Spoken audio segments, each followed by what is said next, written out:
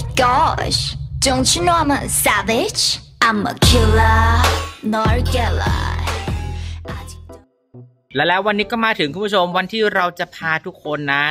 ไปดูกันว่าอาจารย์ที่สอนถ่ายคอนเสิร์ตอย่างนดุดเนี่ยจะถ่ายได้ดีแค่ไหน เรียกว่าเดี๋ยววันนี้จะถ่ายให้เด็กๆดูเลยทำเสร็จแล้วปฏิบัติตามนะรับรองไม่แพ้ใครแน่นอน ไปดูกันค่ะวันนี้ aespa นะคะน้องสาวของดุดมาถึงเมืองไทยแล้วบอกแล้วให้มาวันที่ไปแล้วบอกว่าเนี่ยถ้าวันหนึงแบบเราเจอคนที่เราแบบรักมากๆ หรือชอบมากๆเนี่ยเขามาถึงความทรงจำที่เราอยากจะเก็บเอาไว้เนี่ย มันต้องถูกบันทึกไว้เป็นอย่างดีค่ะ แล้ววันนี้เราจะพา A23 Ultra ไปดูกันไปตอนนี้มาถึงเรียบร้อยนะคะ นี่คือแท่งไฟนะคะของ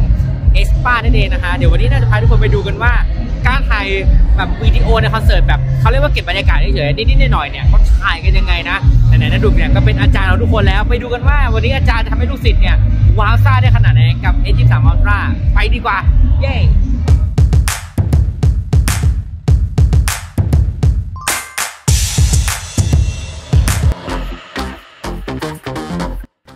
ทำไมต้องเป็นโหมดโปรวิดีโอนะคะ รอบที่แล้วเราได้บอกไว้ว่าการตั้งค่าต่างๆ ในโหมดโปรวิดีโอเนี่ยคือหัวใจสำคัญเลยนะคะ ในการที่เราจะถ่ายวิดีโอออกมาได้แบบดูดีนะคะ นี่คือการ tracking focus นะคะ หรือว่าการโฟกัสจะเห็นว่าเมื่อกี้มีสีเหลืองๆขึ้นมา นี่คือการใช้โหมดโปรเราจะเห็นได้ว่า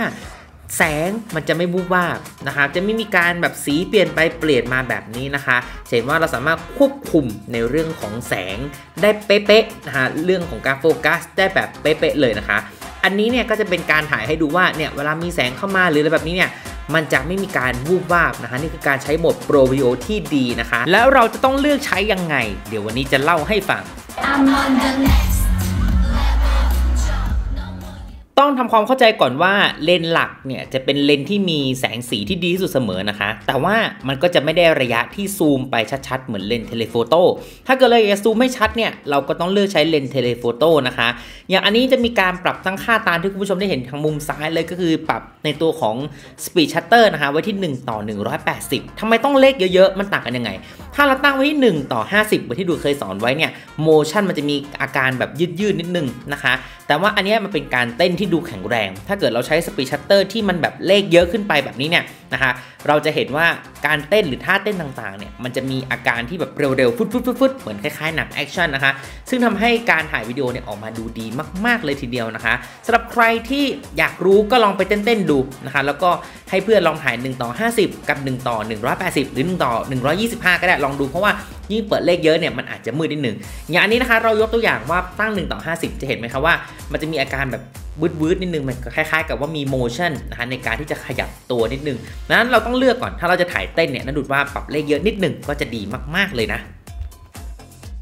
นี่คือตัวอย่างนะคะว่าต่อให้เป็นเครื่องเดียวกัน ถ้าคุณตั้งค่าไม่เป็นภาพก็จะแตกยับแบบนี้เลยนั่นเองค่ะ ดังนั้นการเลือกใช้โหมดโปรวิดีโอเนี่ยจึงเป็นเรื่องที่สำคัญมากๆ ถ้าเกิดว่าเราจะก้าวไปสู่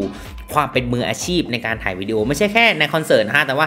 ทุกๆ อย่างเลยไม่ว่าคุณจะไปถ่ายหนังถ่ายละครถ่ายเพื่อนอะไรต่างๆ แบบนี้เนี่ยเลือกให้ถูกนะคะเลนระยะ 3 เท่า เลนระยะ 10 เท่าใช้ยังไงนะคะ เลนปกติใช้ยังไงนดูเคยทำคลิปสอนไว้แล้ว ตรงนี้อาจจะต้องรบกวนทุกคนไปดู อีกทีหนึ่งนะคะ ให้มันแบบเพิ่มเติมความรู้เข้าไป แต่อย่างที่เราบอกนะคะว่าด้านหน้านาดุดนี่มีคนหนึ่งเขาใช้โหมดโปรวิดีโอนาดุดก็บอกว่าเออตั้งไปหรือยังเขาบอกเออเขาดูนาดุดมาเรียบร้อยนะคะดังนั้นการเลือกนะคะการใช้โปรวิดีโอ การเลือกเลนส์ที่ถูกต้องแบบนี้ การเลือกโฟกัสดีๆ แล้วก็แทร็กได้แบบนี้นะคะ จะทำให้เราเนี่ยได้วิดีโอถูกใจเราแน่นอนนะคะเก่งไม่เก่งสวยไม่สวย มันอยู่ที่คนหลังกล้องก็สำคัญนะคะกล้องเดียวกัน แต่อาจจะแบบไม่สวยทีก็ได้นี่นาดูถ่ายด้วยมือถือนะสวยขนาดนี้เลยนะทำให้เราเนี่ยบอกได้เลยว่ามันทำให้การเก็บบรรยากาศครั้งนี้เนี่ยเรารู้สึกดีมากๆ อันนี้เป็น slow motion นะเราทำให้รู้สึกดีขึ้นนี่นะคะ การถ่ายด้วยเลนส์อันนี้น่าจะเป็น 3 เท่า จะเห็นว่าจะมี noise เยอะหน่อย แต่ถ้าเราถ่ายด้วยเลนส์แบบปกติอะไรแบบนี้เนี่ยเราจะเห็นได้ว่า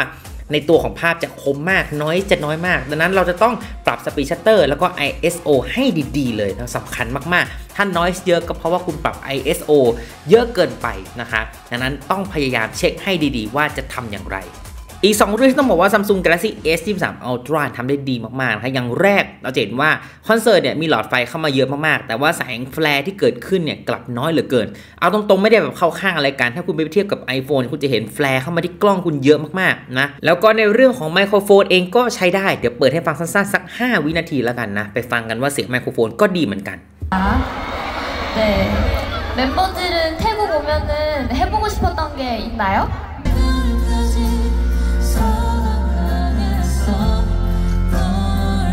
ดังนั้นทุกคนต้องทำความเข้าใจนะคะในเรื่องของเลนส์ให้ดีนะคะ ISO shutter speed speed shutter เนี่ยเอาให้ดี การโฟกัสนะคะเลือกให้ดีๆ รับรองว่าคุณจะสามารถเก็บความทรงจำได้ดีอย่างแน่นอนนะคะ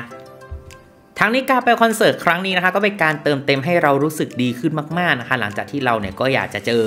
น้องหนาวนะคะหรือว่าน้อง Winter aespa มาอย่างยาวนานนะคะ รอบหน้าเนี่ยนาดูก็คงไปคอนเสิร์ตของ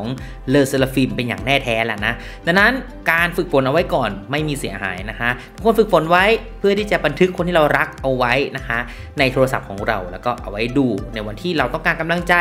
หรืออะไรหลาย ๆ อย่างนั่นเองค่ะ ฝึกฝนเอาไว้รับรองไม่เสียหายแน่นอนนะหวังว่าวันนี้ทุกคนจะได้เทคนิคนะคะเอาไปปรับใช้กันนะคะ ถ้าเกิดว่าชอบเนี่ยฝากคอมเมนต์นิดนึงจะได้เจอหน้ากันบ่อย ๆ นะคะ อยากให้ได้ดูสอนอะไรอีกลองคอมเมนต์บอกไว้ได้ค่ะ เจอกันใหม่คลิปหน้าค่ะ สวัสดีค่ะ